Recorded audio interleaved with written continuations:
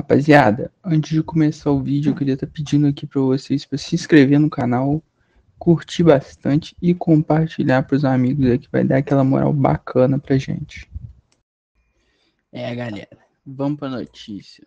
Parece que a relação entre a Larissa e o Fred está meio abalada, hein? Hoje, a Larissa pegou e colocou o Fred contra a parede.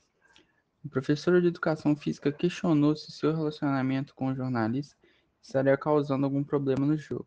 Aí ela até pegou e falou assim: a gente pode continuar na amizade, entendeu? A DR do casal aconteceu na, na tarde dessa sexta-feira, enquanto os dois estão deitados um do lado do outro. Eles admitiram que estão se desentendendo com facilidade nos últimos dias. A Sister aproveitou o momento para questionar o comportamento de Kay Alves com o ex de Bianca Andrade. Parece que você.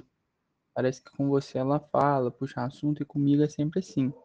Me sentia mal e não conseguia desfrutar a minha cara, confessou. Ela pegou e continuou falando, né? Outra coisa que a gente conversar. Eu gosto muito de você, gosto da nossa parceria. A gente nunca tinha discutido por nada, mas uns três dias acabou que já teve a situação do quarto. Teve a situação ali, teve aquela situação na festa. Eu não quero atrapalhar o teu jogo. Eu sei que você não quer atrapalhar o meu, continua Larissa. A professora, então, disse ter ficado incomodada com uma atitude do Vicante. Eu gosto muito de você mesmo. Eu sinto que você é muito importante para mim, mas não quero atrapalhar.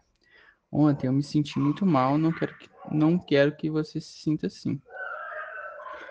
E tal, eles continuaram conversando, mas no final ficou tudo bem e eles terminaram em clima de romance. Porém, ela chegou até a questionar ele se, se não era melhor continuar na amizade e tal.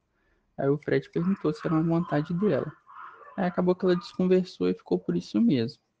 Mas, se, se mas já tem tipo uma fagulha ali para o relacionamento desandar.